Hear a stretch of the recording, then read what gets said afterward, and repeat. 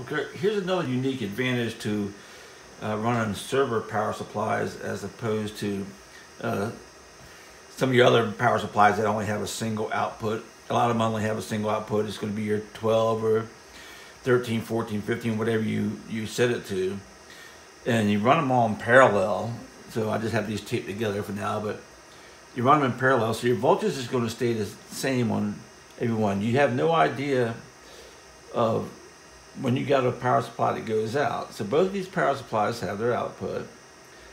They also have a 3 volt and a 5 volt output. You can hook a LED up to that. There's your 3 volt, a little bit brighter on 5 volt.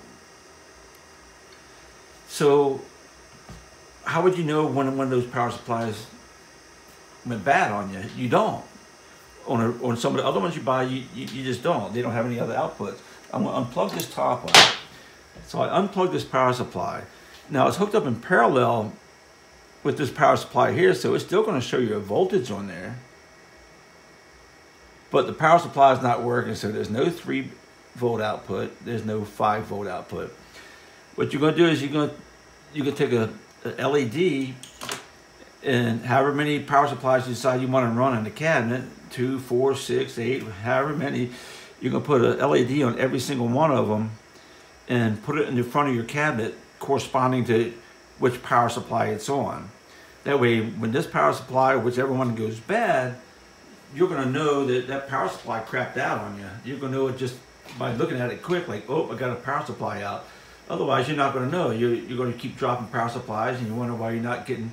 Your voltage is going to be the same, but you're going to you can't figure out why your amp's not getting output or or what's going on. I'll show you the front of mine over here. Let me get this camera out of this holder here. So this is uh, my station a little bit here, but this is my power supply here. I have six power supplies in there, and each one of them LEDs correspond with how it's exactly laid out inside there. So if I have this LED here go out, well, I know that bottom power supply that's in this corner down there took a crap on me. And that's the that's the best way I know of doing it. It's it's better than some of the other power supplies you get running out there, which you know you have six of them in the cabinet and you have no idea that any of them went out. That's what I would suggest.